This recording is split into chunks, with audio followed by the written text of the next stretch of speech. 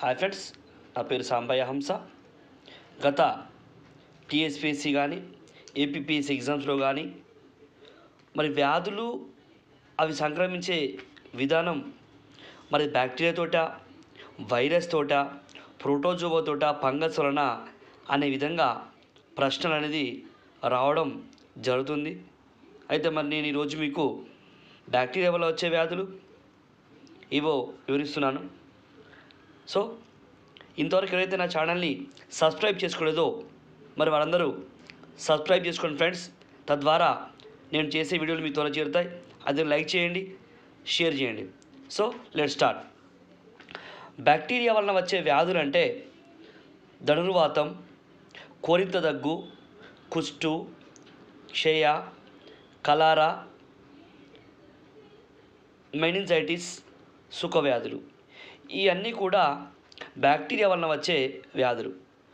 తర్వాత వైరస్. మరి వైరస్ వలన వచ్చే వ్యాధులు అంటే మనకు ప్రధానంగా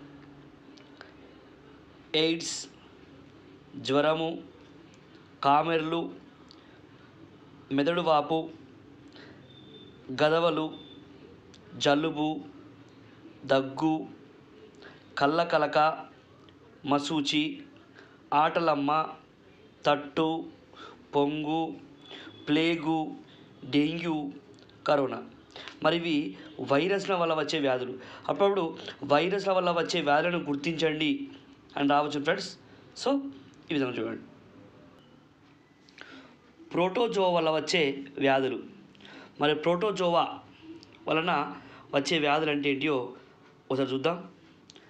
కాలాజార్ ఎల్లో ఫీవర్ నిద్రలేమి నిద్రలో నడవడం అమీబియస్ మలేరియా మలేరియా అనేది దోమల్లో వచ్చినా కూడా ఆడైనాటిక్స్ దోమల్లో వస్తుంది.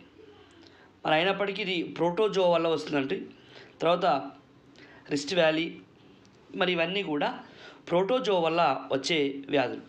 ఫంగస్ ఫంగస్ వలన వచ్చే వ్యాధులు అంటే రింగ్ వామ్ చుండ్రు ఈ ఫంగస్ వచ్చే వ్యాధులు. తర్వాత క్రిముల వలన వచ్చు వ్యాధులు అంటే బోధకాలు. క్రిముల వచ్చే వ్యాధి బోధకాలు. చాలామంది కాళ్ళల్లో బోధకాలు అంటే కాలు ఏనుగు పాదం లెక్క ఉంటుంది. దాన్ని బోధకాలు అంటాం. మరి వచ్చేదంటే క్రిముల వలన వస్తుంది. మరి వంశపారంపర్యంగా వచ్చే వ్యాధులు ఏంటంటే అస్తమ రేచికటి బట్టతల ఇఫ్నాఫిలియా. మరి బట్టతల అనేది రేచికటి అస్తమా ఇఫ్నా ఇవన్నీ కూడా వంశం పారంపర్యంగా వచ్చే వ్యాధులు. ఫ్రెండ్స్